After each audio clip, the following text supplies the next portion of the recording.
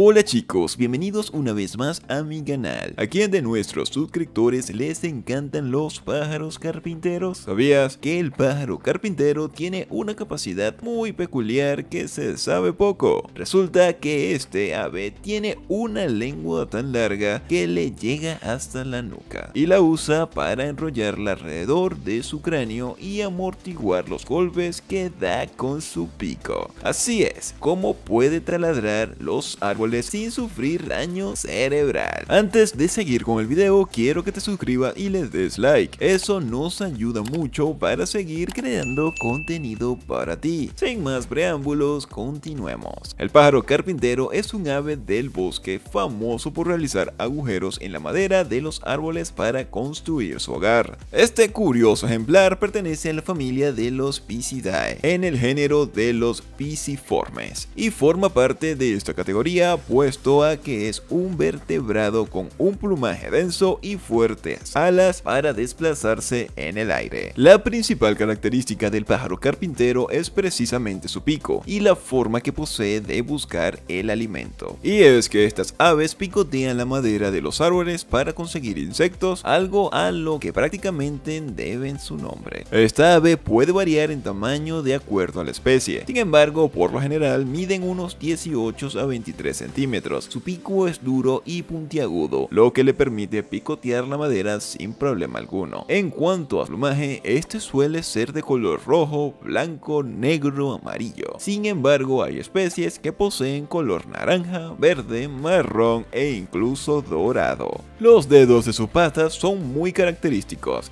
y es que poseen dos hacia adelante y dos dedos hacia atrás, lo cual les permiten sostenerse bien. Además poseen unas garras muy afiladas. En general, el pájaro carpintero posee características muy importantes, entre las que además de las mencionadas pueden destacar que posee plumas muy rígidas en sus fosas nasales, las cuales les impiden que inhale la madera mientras busca alimento. La lengua de los pájaros carpinteros es muy larga, lo que les permite alcanzar con facilidad el alimento más difícil de agarrar. Pueden picotear con demasiada rapidez, tanto así que en segundo pueden hacerlo hasta 20 veces, lo que lleva a que el día realicen unos 10.000 a 12.000 picotazos. El hábitat del pájaro carpintero es muy amplio debido a que es un animal que se adapta muy bien a distintos biomas del planeta. Esta criatura se puede hallar en los bosques coníferos, donde ocurre verano e invierno, sin tener mayor dificultad para sobrevivir en alguna de estas estaciones. Las zonas boscosas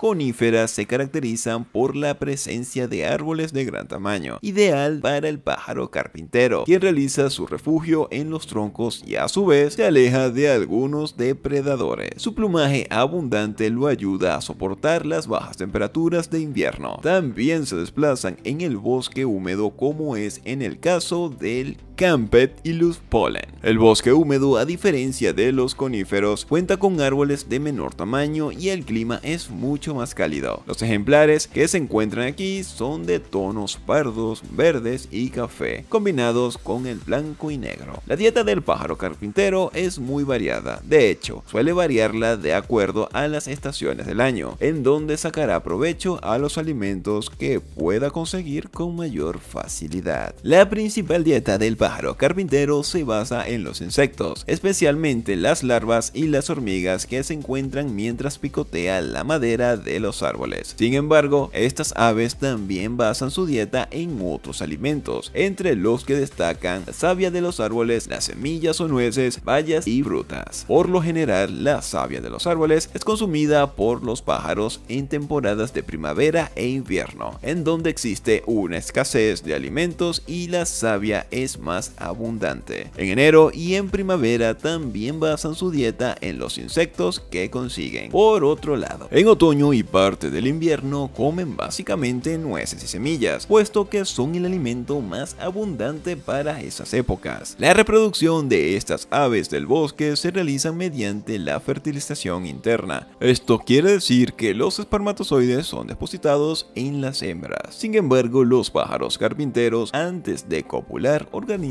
el sitio donde permanecerán las crías. Estos refugios son los huecos perforados. En ellos, el pájaro carpintero agrega algo similar a un colchón elaborado con materiales comunes, como ramitas, madera o acerrín. Las madres colocan entre 3 y 5 huevos en el colchón, los cuales se mantendrán allí hasta un tiempo de 11 a 16 días, hasta acercarse la eclosión. Los recién nacidos viven desprovistos del sentido visual y no tienen pluma. En cuanto a la alimentación, los padres son los encargados de hacer esta tarea durante unos 21 días y 90. El pájaro carpintero es un ave que se encuentra muy muy propensa a los ataques de depredadores, y es que desde que son unos huevos corren peligro. Existen muchos animales que se alimentan de los huevos de los pájaros carpinteros y de los polluelos, siendo los principales las serpientes e incluso otras aves. Una vez que esta ave crece, continúa con algunos depredadores, como los gatos monteses, halcones, coyotes y también los zorros. Espero que te haya gustado este video sobre los pájaros carpinteros y